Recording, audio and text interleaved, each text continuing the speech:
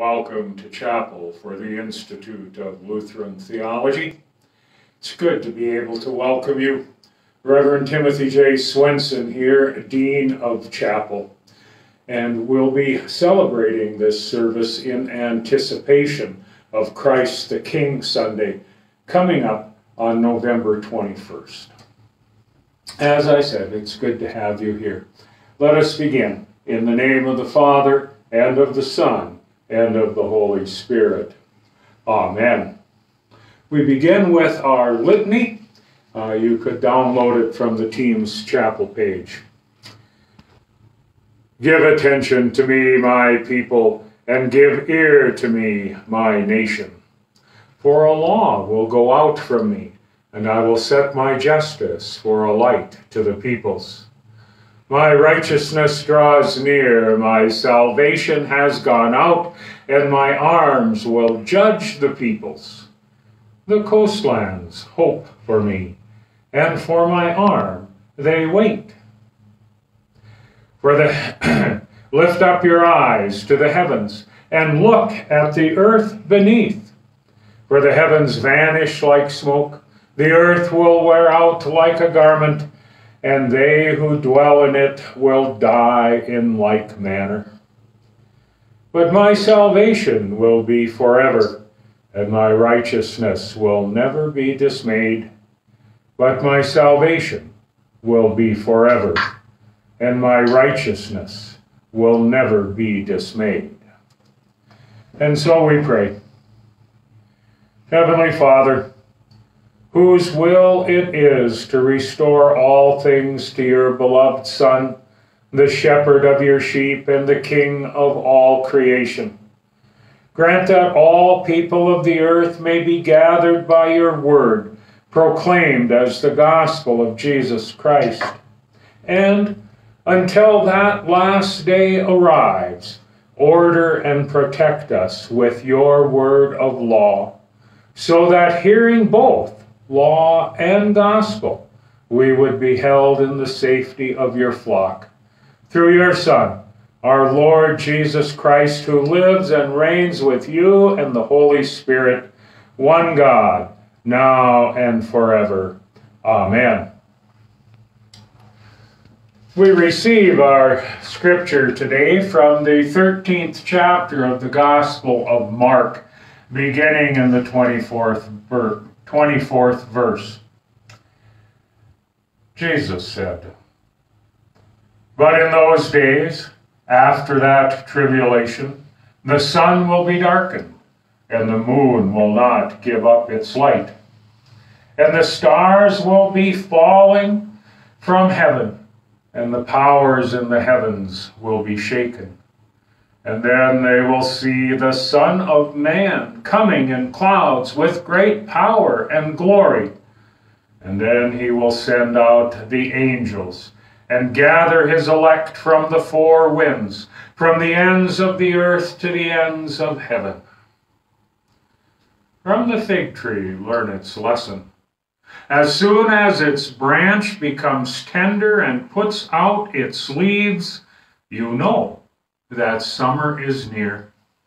So also, when you see these things taking place, you know that he is near, at the very gates. Truly, I say to you, this generation will not pass away until all these things take place. Heaven and earth will pass away, but my words will not pass away. But concerning that day or that hour, no one knows, not even the angels in heaven, nor the Son, but only the Father. Be on guard, keep awake, for you do not know when the time will come. It is like a man going on a journey when he leaves home and puts his servants in charge, each with his work and commands the doorkeeper to stay awake. Therefore, stay awake, for you do not know when the master of the house will come in the evening, or at midnight, or when the rooster crows, or in the morning, lest he come suddenly and find you asleep. And what I say to you, I say to all, stay awake. The Gospel of the Lord.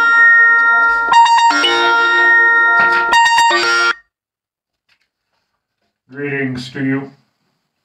Greetings on this day that the Lord has made, a day for us to rejoice and be glad. Grace to you and peace from God our Father and from his Son, our Lord Jesus Christ. Therefore, stay awake, for you do not know when the master of the house will come in the evening, or at midnight, or when the rooster crows, or in the morning, lest he come suddenly and find you asleep. Stay awake. Be alert. These are the commands given to sentinels, sentries, and watchmen. Those to whom is given the duty of warning of an impending attack. Those to whom is given the duty of protecting the life of the life of or visiting death upon the community or company assigning them sentry duty. The sentry's duty is of such vital importance as to visit the death sentence upon the sentry who falls asleep. On August 31, 1861, Private William Scott was found asleep at his post guarding the chain bridge approach to our nation's capital. Four days earlier, the Union Army had suffered a humiliating defeat at Manassas Junction the Confederate Army remained encamped less than 10 miles from Washington, D.C. Private Scott's malfeasance while on sentry duty earned him a death sentence to be carried out nine days hence. His comrades in arms rallied around him he had volunteered for sentry duty that night, as he had for several nights, on behalf of a fellow soldier sick in bed. The unit's chaplain carried his mate's plea for mercy to the commanding officer. Since they were so close to the capital, word reached the White House. And President Lincoln came to assess the situation. After a long conversation with Private Scott and his command, with his commander, Lincoln issued a presidential pardon for the convicted soldier. Private William Scott went on to exemplary service in the following months. No duty proved too onerous or assignment too hazardous, but what Scott would volunteer. On April 16, 1862, less than eight months after his pardon, Private Scott was fatally wounded as he saved his wounded comrades from drowning as the unit attacked across a river. He was carrying a comrade on his shoulders as six bullets struck him. He died the next day. Before dying, he bid his comrades his thanks for their comradeship and asked them, if possible, to convey his gratitude to Lincoln for the pardon that enabled him to die as a soldier and not executed as a criminal. Between the day of his pardon and the day of his death, Private Scott lived as a soldier. He lived between pardon and consequence. Stay awake, lest he come suddenly and find you asleep. Stay awake. Do not be found out as a failed sentinel, a sleeping sentry, or a watchman nodding off, stay awake. And yet, we can't. The constant wakefulness demanded by Jesus' command here is beyond us. Beyond us, humans broken by sin. Beyond us as people of a fallen world. Beyond us who, try as we might, simply do not have the constitution for constant, continual alertness. Witness witness the disciples in Gethsemane. No matter how many times Jesus bid them to stay awake, watchful in his hour of trial, they slept. They did not hear the mob approaching as it came to capture Jesus. They failed. They slept. They proved it for all of us we will all fall asleep on sentry duty. The death sentence awaits us all. Who? Who will be our Lincoln to pardon us from such death? Jesus Christ, you say? Of course. Of course it is He. Jesus Christ remains faithful to us even as we fail in our own faithfulness, demonstrating over and over our unfaithfulness to our Lord and God, uh, engaging again and again in some form of adultery with other gods, with the things of this world, or even the indulgence of the sinful self. Jesus forgives our sins, even the sin of falling asleep on the bridge with the enemy encamped just down the road. We are forgiven. We are forgiven. In Jesus' name, I forgive you all your sins. Yet, yet there are consequences. In this old passing away world, subject to time's march and sin's debasement, our acts carry consequences. Our sin and our sins are truly forgiven. But their penalties, their effects, mar our days exact their own penalties and burden us with their weight. For now, while we live temporally, that is, within time, God has given us a word or two about both minimizing consequences and receiving consequences you know that.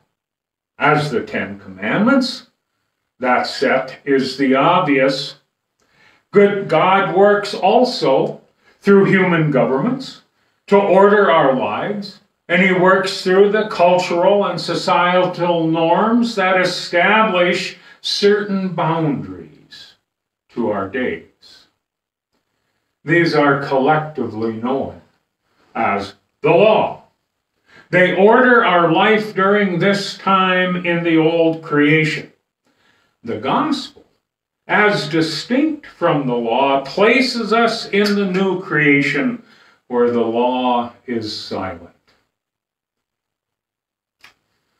I learned it from Luther like this. While we are still in the flesh, there is the acting spontaneously out of love as the new creature in Christ takes hold of us. For those who aren't taken hold of, who can't or don't act spontaneously out of love, there is the law. It is a poor substitute for love. But some consider obeying it for the reward it brings Others consider obeying it to avoid the punishment of disobedience. For those who will not act spontaneously out of love, or who will not act out of consideration for reward or for punishment. For those, there is always the hangman. But in any case, the neighbor will be served, either spontaneously out of love or in consideration of obedience to the law. Stay awake. Watch. Be alert. You know the consequences. All of us, all of us will go down to the grave suffering the consequences of failure as a sentinel, a watchman, a sentry. But we go to the grave forgiven. In the meantime, between this day when you have received a royal pardon, between this day and your return to the dust, between this day of your pardon and that day of your death, your Lord has given you a neighbor, most likely more than one. Neighbors to love spontaneously as you are the new creature in Christ. Neighbors to serve out of your obedience to the law. Serving your neighbor, not yourself, is now your vocation. You have parents whom you are commanded to honor. You have that awful and aggravating neighbor whom you are commanded not to kill. You have that wife or husband whose marriage bed you are to keep undefiled. You have sinners for friends, and you are commanded to uphold their reputation. Employers, police, magistrates, and justices, all of whom you are commanded to obey. These things, all these things are given to you while you wait. You must stay alert, awake, and watch, so that none of what you are given is set aside or mislaid. The immediate condemnation of your sin is set aside in the forgiveness Jesus has won for you on the cross. You are pardoned. Now, between this day and the day you go down to the dust, you have some time to fulfill your vocation, to be a servant of your neighbors, to be a child of God, a member of the royal household, living between pardon and the dust of the grave. You both watch and wait until, as Isaiah put it, until you hear the voice of your watchmen. They lift up their voice together, they sing for joy, for eye to eye they see the return of the Lord to Zion. Thanks be to God. Amen. And so we pray. Heavenly Father, Hold me in the faith of Jesus Christ by the working of your Holy Spirit, that I may wait and watch for the day of the Lord while carrying out those tasks you have given me in home, in community, in workplace, and in congregation. For Jesus' sake. Amen. Heavenly Father, Hold me in the faith of Jesus Christ by the working of your Holy Spirit, that I would not grow weary of those tasks you've given me and abandon them for a religious quest of my own devising. For Jesus' sake. Amen. Amen. Heavenly Father, hold me in the faith of Jesus Christ by the working of your Holy Spirit that I would hear the precious gospel of your Son, to know that my sins are forgiven, to be content with the righteousness of your Son, and not to covet a righteousness of my own. For Jesus' sake. Amen. Heavenly Father, hold me in the faith of Jesus Christ by the working of your Holy Spirit, that I would be a useful neighbor, fulfilling the duties of all my vocations. For Jesus' sake. Amen. Heavenly Father, hold me in the faith of Jesus Christ by the working of your Holy Spirit, that I receive the failures of my neighbors, not with anger, but with the same forgiveness with which Christ has received my failures. For Jesus' sake. Amen. Heavenly Father, hold the Institute of Lutheran Theology, its students, faculty, and staff in the faith of Jesus Christ by the working of your Holy Spirit, that it may raise up preachers of the gospel of Jesus Christ to send into future generations. For Jesus' sake. Amen. Heavenly Father, hold me in the faith of Jesus Christ by the working of your Holy Spirit, that I would not have ears to hear the entreaties of false messiahs but have ears. Have ears only for the true word, who is Jesus Christ, handed over to me by my preacher. For Jesus' sake. Amen. Our Father, who art in heaven, hallowed be thy name. Thy kingdom come, thy will be done on earth as it is in heaven. Give us this day our daily bread and forgive us our trespasses as we forgive those who trespass against us. And lead us not into temptation, but deliver us from evil. For thine is the kingdom, and the power, and the glory, forever and ever. Amen. The Lord bless you and keep you. The Lord make his face shine on you and be gracious to you. The Lord look upon you with favor and give you peace. In the name of the Father, and of the Son, and of the Holy Spirit. Amen. Go in peace. Serve the Lord. Thanks, be to God. Amen.